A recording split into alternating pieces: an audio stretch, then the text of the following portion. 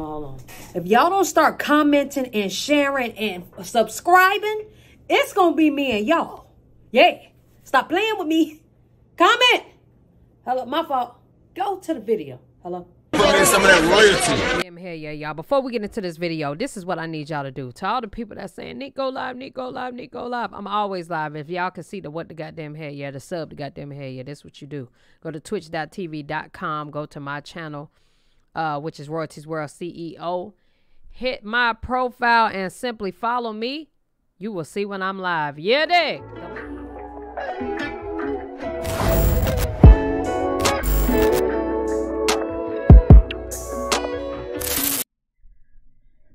What's up, y'all? It's your girl, Nick G, the host, and today I'm back with another reaction video. Before we go any further, make sure y'all like, comment, subscribe, and share this video. You dig what I'm saying and what the goddamn hell y'all league. So shout out to all y'all that are liking, commenting, and subscribing. It doesn't go unnoticed. I'm in the comments with y'all, man. I appreciate y'all because if you don't know, the way the algorithm works is you have to like the video. You have to comment and you have to subscribe. That's the only way you help the person you're watching.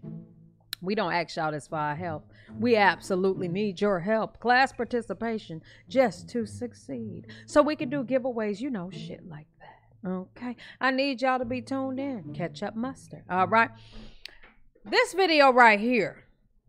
A therapist roasts uh, BM, which is, you know, black man, about getting mental health. Uh, then she gets terminated.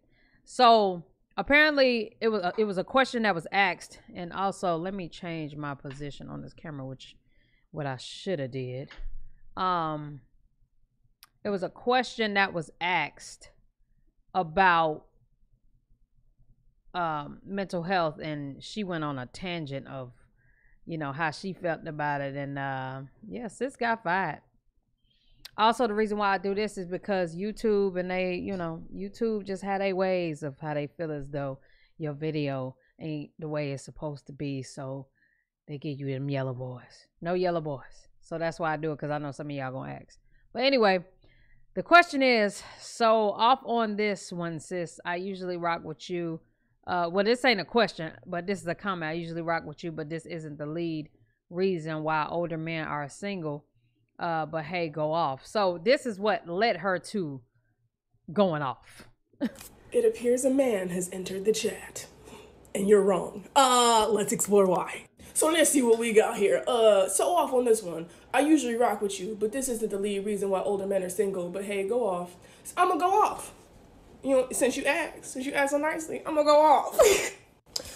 Men are so stubborn that even a Psychology Today article that is conducted by actual researchers, you still want to argue. These aren't my words, these are the articles of research. So, despite actual statistics stating that men are actually the fuck alone because y'all refuse to expand your emotional vocabulary because bitches are not dealing with y'all horse shit anymore, even in an article, y'all are still not believing this. I had. Here's my thing don't nobody give a damn about that article. I just want to put that out there. But um, as a therapist, I ain't gonna lie, I wouldn't have been on here like that. I wouldn't have. So many. Like the fact that she didn't think like you so smart, you dumb type shit. You know how people can be so smart that they be dumb as hell. Why would you do this, ma'am? You know, insensitivity is not necessarily um a therapeutic thing. You know, so I don't know how she thinks she could just be a therapist and like blatantly just be rude and you know to people and then publicly. Okay. Um and then to your own race friend, it just don't work like that. But we can just keep listening. Any clients that are leaving their partners because they refuse to expand. Then you spoke about your clients. Well, isn't that a HIPAA law? Crazy? Any part of themselves. This podcast culture has forced y'all to believe that treating women like shit is the answer to getting women. And it's given, she just went through that, but I'm gonna stop talking. And I'm here to tell you, bruh, bruh, that we're human beings and don't want to tolerate y'all fuck shit. I.e., we are okay with being childless and alone at the cost of your emotional abuse. We okay on that. No, wait, wait, wait. You might be thinking, but wait, I'm not abusive. The definition of abuse is the intentional misuse of something. By you intentionally not taking your motherfucking ass to therapy and talking about all the things that plague you, you are neglecting your bitch. What? The definition of abuse is the intentional misuse of something. By you intentionally not taking your motherfucking ass to therapy and talking about all the things that plague you, you are neglecting your bitch. Here's my thing. When people talk about therapy, do not get me wrong, I'm not against it. Have I ever been in it? No. I have the best therapist in the world. He's my father. And one thing he gonna do is tell me the truth, and the truth be the main thing that I need. Tell me about myself, because for some reason I don't see it right now. The way you see it, I am not seeing it in myself. Okay? So I need you to help me. Help me, nigga. Okay? Now you have somebody who will say, baby, let's go to therapy. Then you have her ass show up on the internet. I don't want to go to therapy with you, lady. Because first of all, you're not even gonna have this energy in the therapy session. Okay? This n- not even like when you on the clock, she's probably a total different person. And the reason why it's it's being projected like this is because she been holding that in for so long, or she just went through that. And I feel as though therapists are just as human as us, are they not? You know what I'm saying? So sometimes I just feel like we need a person to tell us the brutal, brutal honesty. But I promise you, she ain't doing that in that red room. You know what I'm saying? Whatever color the room is, I promise you, she not doing that shit. So that comes off fake to me. Her reasoning for, um, like they them not going to therapy is the reason why he can't let out his emotions. And don't get me wrong, men don't. They don't tell their emotions, and they don't because women hold it against them. You know, argue with me if you want, but if a guy say, "Man, I'm sad today," about what? Man, to be honest, bro, my hamster died. Niggas is gonna die laughing. Like, ah, you sad about a hamster? Like you too big for that. You you too much of a man for that you know, and a nigga can't even be like, you know, have e- emotions about that. And a woman will clown them, a man a clown a man get clowned in general for having feelings. So I don't blame him for not saying nothing. I ain't gonna lie. And she's not tolerating this shit no more. You know what? I even pulled the article back up. I'm gonna read this because y'all seem to not know words. Um, this literally says, I hear dating culture themes between women of the ages 25 and 45. They prefer men who are emotionally available, good communicators, and share similar values. Y'all don't even know how to articulate your emotions. So, how the fuck are you supposed to maintain a relationship? I.e., you can't. That's why you're single. Still not convinced, boo boo. I got another one for you. Skills deficits. For men, this means a relationship skills gap that, if not addressed, i.e., in therapy, take y'all fucking asses to therapy, will likely lead to fewer dating. That, if not addressed, i.e., in therapy, take y'all fucking asses to therapy, will likely lead to fewer dating opportunities, less patience for poor communication skills, and longer periods of being single. I don't feel like, I don't feel like it takes therapy for you to have ownership for yourself. And no disrespect to anybody that's in therapy, but like, have people, have you ever thought about just keeping it hot with yourself?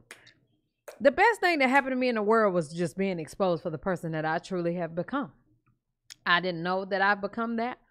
And when I found out who I really became, because you can be stressed out, you can be depressed and not know what the hell you doing. But when you decide I want to accept the truth about who I've become, and you see who that person is, I promise you, it ain't something you want to go back to. Now, I'm a woman. I'm not a man, obviously. So I, I can't speak for men, but, you know, it's just like in this situation, just, I don't, I'm going to keep listening. Hmm. The problem for men is that emotional connection is the lifeblood of a healthy, long term, loving relationship. Emotional connection requires skills that families are still not consistently teaching their young boys. Y'all can learn the shit in therapy. That's why I keep telling y'all this shit. You wonder why older men go for younger women? Because older women are not tolerating y'all horseshit. But now we're seeing the gap e- closed even more. Y'all need to stop listening to these male podcasters who are sad that their dads didn't. I can't disagree with her on that one. These male podcasters ain't shit. Return with the milk. they not. Go to therapy and talk about the shit that plagues you so you can have healthy relationships. Love you, King. Be well. I fucking love it here. First off, y'all bitches is smart. This is the exact re I wish men would understand that emotional intelligence is so important because how much clarity, security it brings into your life. Blah. The comment says, I wish men would understand that emotional intelligence is so important because of how much clarity slash security it would bring to your lives. Y'all think bitches just be talking in y'all ear just to be fucking talking. We don't. Y'all think bitches just want to argue with y'all because y'all refuse to expand your emotional vocabulary. We don't. It's I agree we're on that. to provide clarity for both us and y'all dusty bitches. Let me let me stop. this shit really truly irks me because when I say you need to expand your emotional vocabulary, it's so your life can be easier. Don't you want to be able to communicate with your bitch? I, I think would. I think yes, right? Long gone are the days where you can just shut down. Bitches is not tolerating that. Now that shut down shit, I could never deal with a man for that specific reason. That is at the top of the list. Niggas would be like, all right. All right. what the fuck? I wouldn't be able to deal with a man anyway. But, you know, I get what she's saying about that part. Like But also, I got I gotta say, if I was a man, I probably wouldn't want to tell a woman that neither because you ain't about to bring my vulnerability in my face. You know, like throw my vulnerability in my face. They don't trust women. Men do not trust women. That's why they always with their homeboys telling them shit because they can relate to them. They can really relate to me. They be sitting at the bar with me talking about your ass. You know what I'm saying? I be telling them, man, listen. You ever try to talk to him? Man, if I do, she just gonna throw it back in my face. Men don't like that, y'all. Y'all gotta stop that part.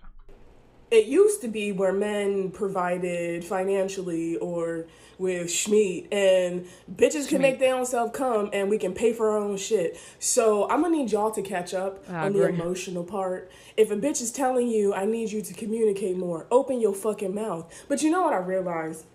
And let me let me back up, let me back up. A common misconception about me as a clinician is that 90% of my clientele have been men, black men specifically. And what we specifically I see why she got fired. You telling too much, Frank. work on is expanding their emotional vocabulary because a lot of y'all motherfuckers don't even have the words to express how you're feeling. So when you expand your vocabulary and knowledge of what you are experiencing because y'all are human beings who experience feelings and emotions and don't have to choke that shit down no more. Y'all ain't had to choke that shit down since 2016. Anyway, if y'all are not in therapy, expanding your emotional vocabulary, your life just off top is going to be more difficult. When you expand your emotional vocabulary, you expand your awareness of yourself. When you expand your emotional vocabulary, you understand how you can navigate in this bitch. This I fucking agree. weird ass world that is so hard on y'all. Like, let's acknowledge that the world is very difficult for y'all, but y'all are not making it any easier, bruh, bruh. You're not. When bitches are telling y'all to go to therapy, it's not for us, it's for y'all sad motherfuckers. Go to therapy, talk about that shit that's on your you see how she's speaking to them? You know? That's not gonna make me wanna go. You know what I'm saying? Like, I know I want the truth, but have some some class with that shit. You know what I'm saying? Like, it's all the B words, and she just talking a lot. chest. You don't have to choke that shit down no more. Y'all are doing a disservice to yourself. And so let me let me let me sum this shit up. Y'all told bitches to elevate our standards. And at the cost of us elevating y'all standards, y'all got axed because y'all didn't elevate either. Bitches are not tolerating emotional abuse, emotional neglect. Step it up. Go talk to somebody. Go expand your emotional vocabulary so your life can be better, bitch. All right. Go in peace. A few moments later. well, hello. It's your friendly neighborhood therapist who thought she could save these hoes, but got her job terminated as a result. Story time? I think yes. Shit you not, I This bitch need to be a meteorologist. Oh God. posted a video on Monday telling men that their dusty behavior is only harming them and that they would benefit from emotional intelligence. And I shit you not, by Friday, didn't have employment. All of this started with a Psychology Today article stating that men are lonelier than ever because they have no fucking emotional skills. And I agreed, and doubled down and told y'all that y'all lives would radically improve if you expanded the shit that came out your mouth. But No, instead of healing, y'all will do No, no, no, no, no. You just called everybody a lot of motherfuckers and bitches. You know damn well if you a therapist coming out like this publicly, it's no way you thought that you was gonna keep your job. You don't even know like how you was saying this shit. You know that's I think that that's crazy. do anything but that. Instead of being accountable, like, hey, this bitch see me, and stirred a little bit, y'all got so hurt, so hurt that you contacted Massa. Mm-hmm. That's exactly what happened. So first the post goes viral on Twitter. Cause y'all need fucking help. And y'all wanted to argue with bitches blue till they fucking blue in the face. Some of you hoes is not gonna be saved. And that's the conclusion that I've come to.